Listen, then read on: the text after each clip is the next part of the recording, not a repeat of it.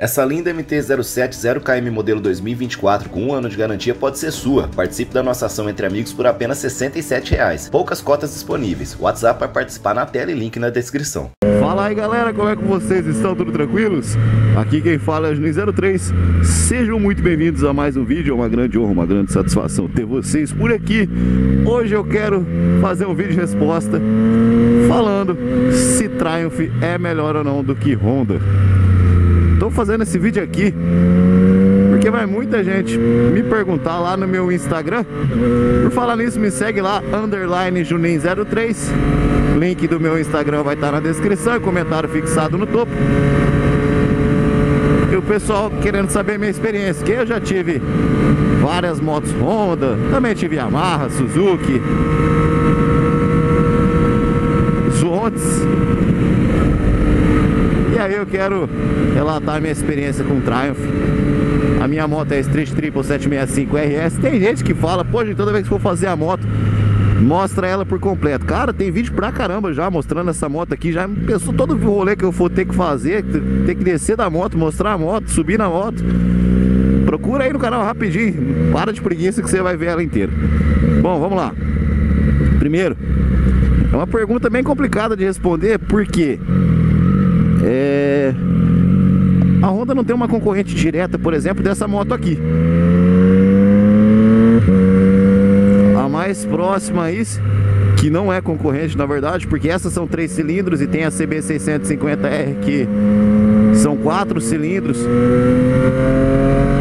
Mas vamos falar assim, o conjunto que essa aqui tem todo, desde suspensão, freio, pneus, embreagem, tudo, tudo, manete, manopla, tudo aqui é melhor e ela é mais tecnológica, só que custa mais caro também, diferença aí de 10 mil reais praticamente, pelo menos aqui na minha região. Galera, tava esquecendo de dar dois recados importantes rapidinho aí, já volto pro assunto do vídeo. Seguro pra sua moto com desconto.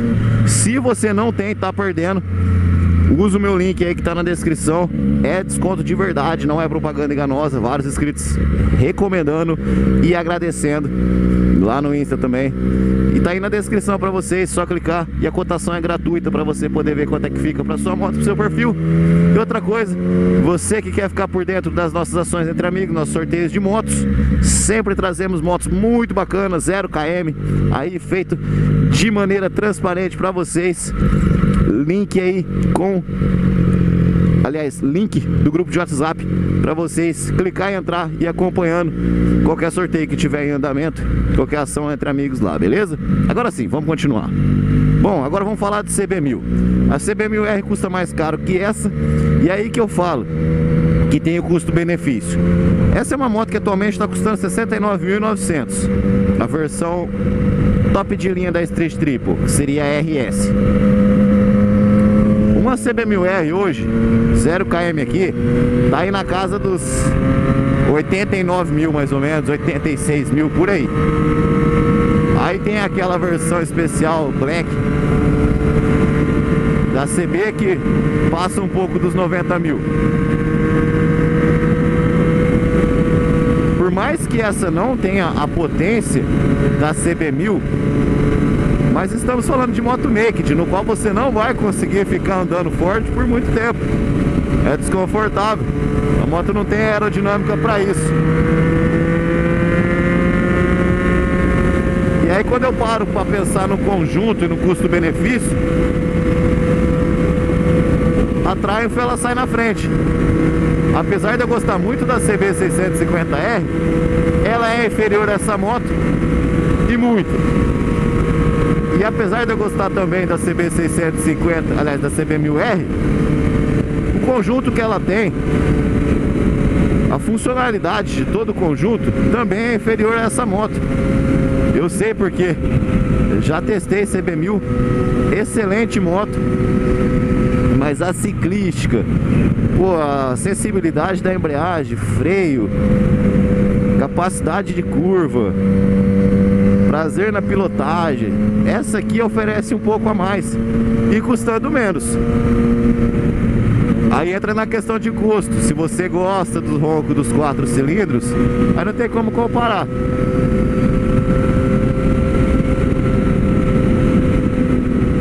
Aqui tanto faz para o meu gosto. Três cilindros e quatro cilindros me agradam.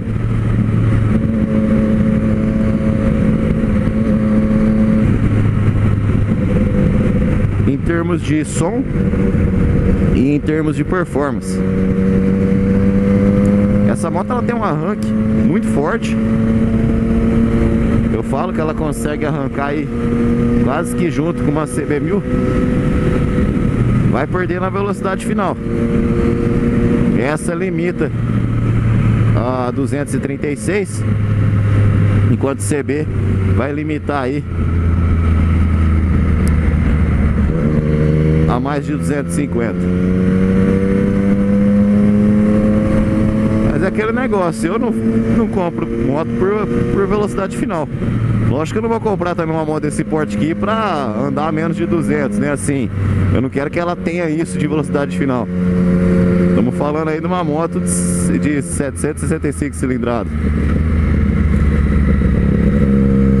Mas pra quem segue o canal sabe, não tem como ficar andando a 200 por hora o tempo todo. Então por isso que eu não, não ligo muito pra essa questão de velocidade final. Aí a desvantagem, cara, a principal Honda e Triumph é mais a questão de comércio.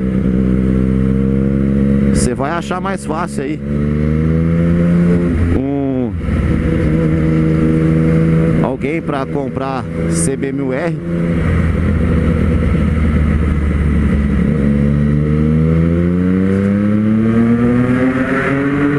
passar aqui que esse caminhão tá soltando um ar quente que eu vou te falar. E aí uma moto como essa, a Triumph não tem uma gama de clientes tão grande quanto a Honda. E tem aquelas pessoas que têm receio, que batem na tecla que moto é Honda ou Yamaha.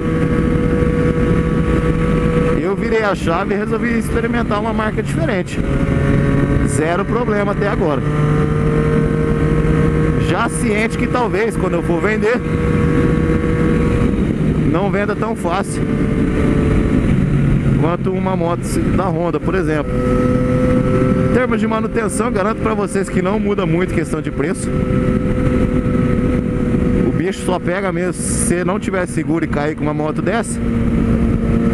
Com ambas as marcas nessa categoria vai ficar caro, só que Triumph vai ficar mais caro ainda. Aí você resolve tendo seguro, né? E é isso, sem muita enrolação. Então, o que eu, minhas considerações finais aí, resumidamente, é que a Triumph oferece um conjunto mais premium, um conjunto melhor. São, eu considero as motos melhores desenvolvidas e mais agradáveis. Quanto a a Honda tem suas motos aí mais aceitas no mercado. São motos boas também. Mas que eu vejo aí em qualidade no conjunto geral é inferior a uma Triumph. E é isso, galera. Espero que vocês tenham gostado do vídeo. Forte abraço, fiquem com Deus, tamo junto e vamos que vamos.